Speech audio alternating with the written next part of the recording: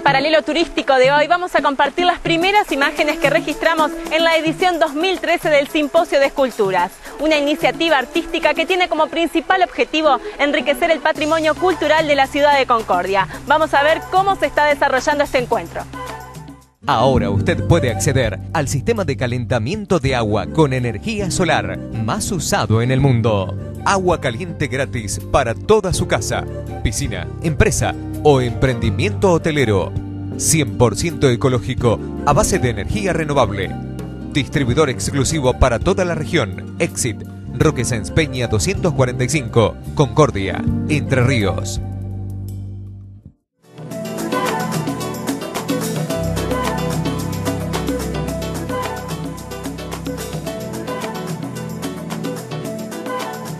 Sí, la verdad que estamos muy, pero muy contentos con el comienzo, el inicio de este tercer Simposio Internacional de Escultores, algo que desde hace tres años venimos promoviendo desde nuestra gestión, en tener esta posibilidad que los artistas trabajen durante toda una semana distintos materiales como mármol, piedras, madera, hierros, otros metales, y poder hacerlo a la vista de todo el público para que se vea cómo se construye una obra y también lo importante es que estas obras quedan para el patrimonio de la ciudad.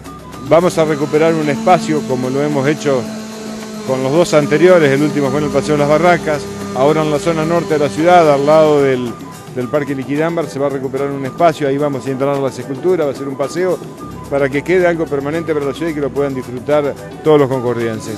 Estamos contentos porque en este tercer simposio nos visitan escultores de todo el mundo, han venido escultores de, la lejana China, de Guangzhou, de Cantón, hay escultores de Bélgica, escultores de España, de Ecuador, de Perú, de Chile, de Uruguay y de distintos lugares de la Argentina como Santiago del Estero, Jujuy, Rosario, Buenos Aires. Y esto nos garantiza que la calidad de las obras realmente sea muy pero muy buena.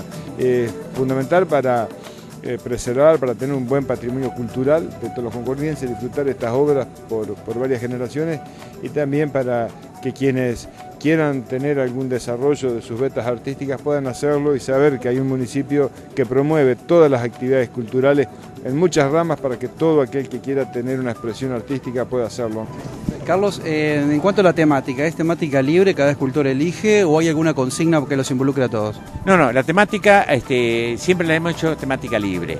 Este, lo que sí le ponemos en unas condiciones que son las medidas de las obras, el tipo de materiales este, y que no sea algo que ofenda la moral y la buena costumbre de la sociedad en su conjunto porque son obras que no están eh, pensadas para ser exhibidas en lugar cerrado donde quien accede a ese lugar, a ese espacio cerrado, se, arriesga a ver lo que el artista ha decidido expresar. Acá no, acá este, todo el mundo va a acercarse, va a poder acercarse y no va a encontrar ningún elemento que moleste, tampoco algo que pueda herir este, físicamente a los chicos y demás.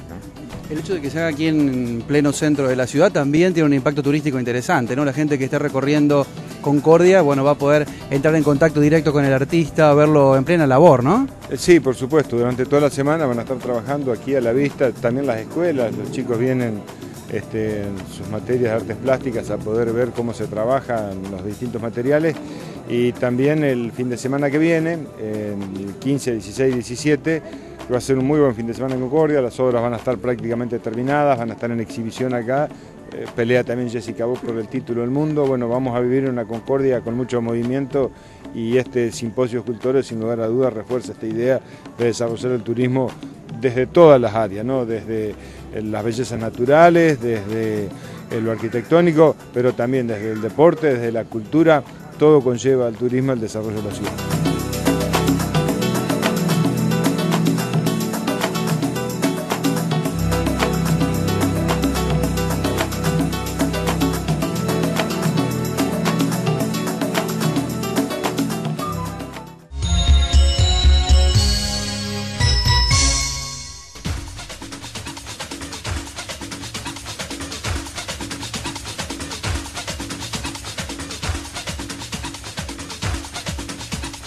lápiz y papel en mano porque como todas las semanas llega a Paralelo Turístico el segmento dedicado a la coctelería. Recibimos ya mismo a nuestro barman exclusivo a ver qué sugerencia nos trae en el día de hoy. Sergio Rodríguez, Bar Manager. Barras de tragos para fiestas y eventos en toda la región.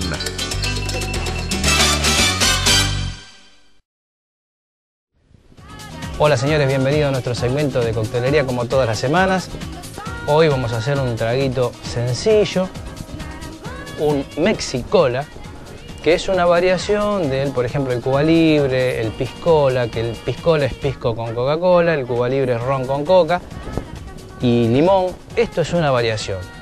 Mexicola, sencillo, dos componentes, así que vamos a la composición del trago. Se hace en forma directa en un vaso de trago largo.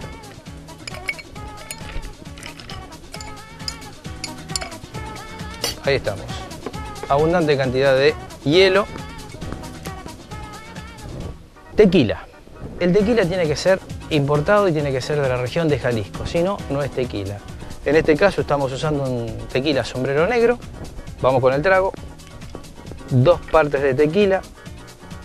Esto, señores, yo le digo dos partes de tequila. Es la fórmula original. Si a nosotros nos gusta un poquitito más fuerte, le agregamos un poquitito más de tequila. Si nos gusta más suave, le bajamos la cantidad de tequila. Eso va en el gusto de cada uno. Seguimos con el trago. El jugo de media lima. ¿Sí?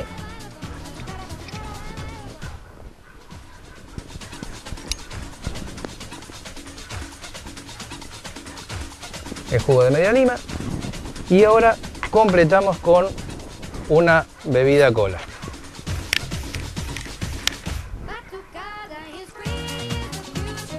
De decoración, una rodajita de lima para que termine de darle bien su sabor.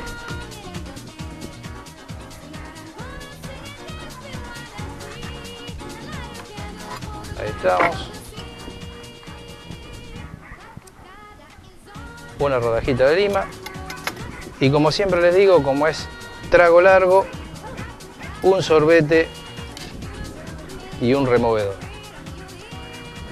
Y ahí señores tenemos un Mexicola. Pruébenlo, realmente es un trago muy muy rico, a mí me encantó cuando yo lo probé, así que es exquisito. Y permítame una cosita más, es un saludo a la gente de Feliciano, nosotros estamos viniendo de la fiesta del ternero, un éxito total realmente, una fiesta hermosa. Y la gente realmente muy muy agradecida. Un saludo enorme para toda la gente de Feliciano, enorme. Muchísimas gracias, yo me quedo degustando esto. Eh, ah, hay mucha gente que me pregunta si tomamos los tragos. Los tomamos. Chao.